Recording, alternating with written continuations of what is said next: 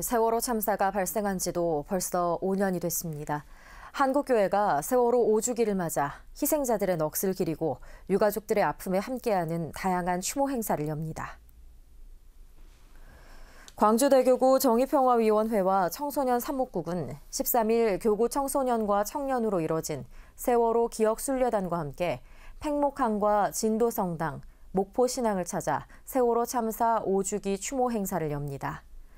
서울대교구 사회사목국과 의정부 정의평화위원회, 정의평화민주가톨릭행동, 한국천주교 남자수도회 사도생활단 장상협의회, 한국천주교 여자수도회 장상연합회는 오는 15일 오후 7시 광화문 세월호 광장에서 세월호 참사 5주기 추모 미사를 봉헌합니다.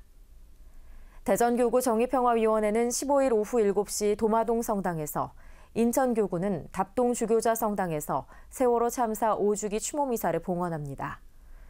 춘천교구 정의평화위원회는 같은 날 오후 7시 30분 거두리 성당과 포천 성당에서 마산교구 정의평화위원회는 사파동 성당에서 각각 추모미사를 봉헌합니다.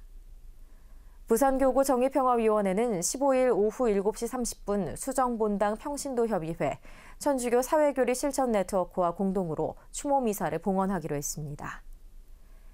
대구대교구 정의평화위원회는 16일 오후 7시 세월호와 대구 지하철 참사에 대해서를 주제로 영남대 김태일 교수의 특강을 진행한 뒤 오후 8시 대구대교구 성모당에서 교구장 조환길 대주교 주례로 추모 미사를 봉헌할 예정입니다. 같은 날 오후 7시 30분 수원 가톨릭대학교 임마누엘 성당에서도 세월호 참사 5주기 추모 미사가 봉헌됩니다.